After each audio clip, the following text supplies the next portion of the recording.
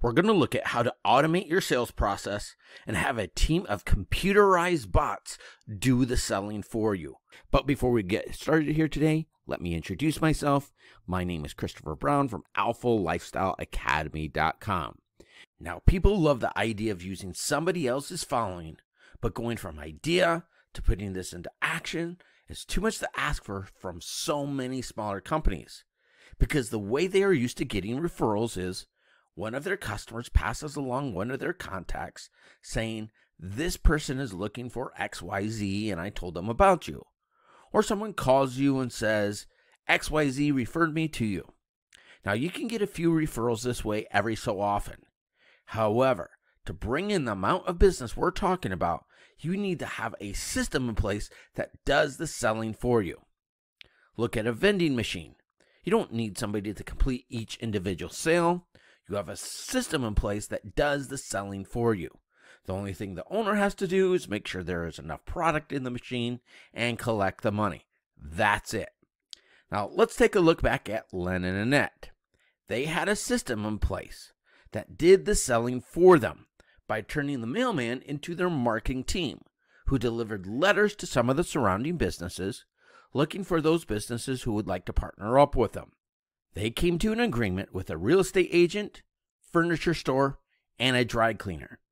Len and Annette then put in place the next step in their marketing system by having these local businesses do the selling for them by distributing marketing material to their customer base that would drive these customers to do business with Len and Annette's carpet cleaning business, where they did a million dollars in new business over a 12 month period, landing over 3,000 new clients.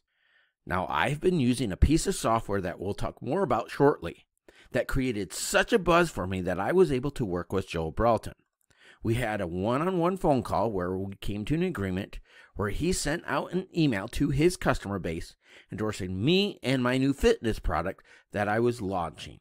And over the next six hours after sending out that email, that turned into nearly $15,000 for me and about $24,000 for him. Now, if I had been doing things traditionally, like what many smaller companies are doing, I could have never made so many sales so quickly.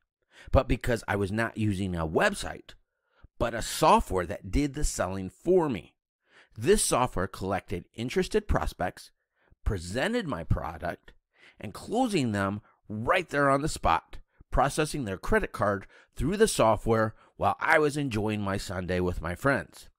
Now, the things that stops many businesses from being able to do this is they don't have a system in place that does the selling for them. The way most businesses work, it takes too much labor to be able to do this. Now, this is not a new idea. The technology may be new, but this is what the smartest and most successful companies were doing during the 1920s, 30s, and 40s. In those days, companies were less concerned with branding and getting their name out there, and were more concerned with making sales. Now, in our next module, we'll explain exactly how this works.